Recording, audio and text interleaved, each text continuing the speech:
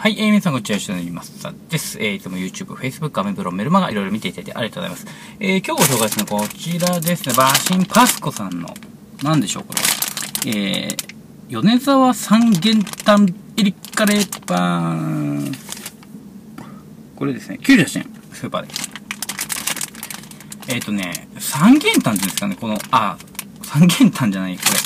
三元トンちょっと読み方わかんないですけど、あ、三元豚ですね。これはですね、えー、三、三つの品種の豚を掛け合わせた品種を三元豚と言いますと。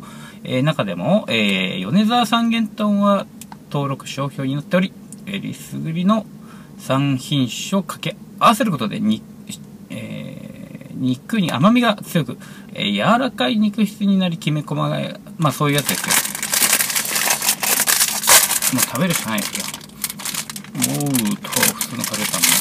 まあ普通、まあ、まあ、見た目普通ですよね。これ金額言いましたっけ？僕言いましたね、今ね。ね、98円ね。いただきます。ん？普通ですね。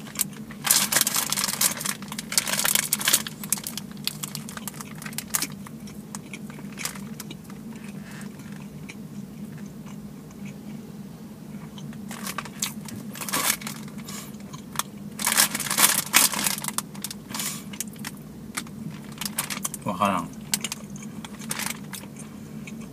なんか、そんなに、大きい、な、なんとかな、肉の具が入ってる感じもしないし、ようわからんな。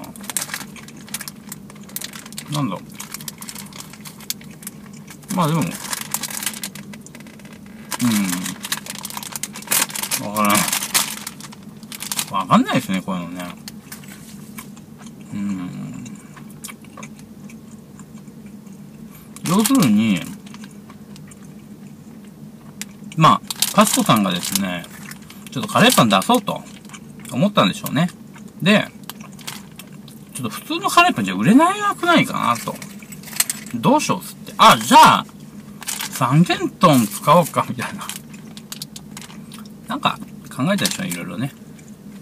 で、考えたんですし。で、このパッケージもなかなかいいんですけどね。まあ、うん僕の味覚下にはそのブランド志向は届かなかったという感じですねなるほど。まあでも普通のカレーパンとして別に十分美味しいでございます。ということでありがとうございました。今日ご紹介したのはパスコさんの期間限定なんですね。えー、米沢三元豚入りカレーパンでございました。ありがとうございました。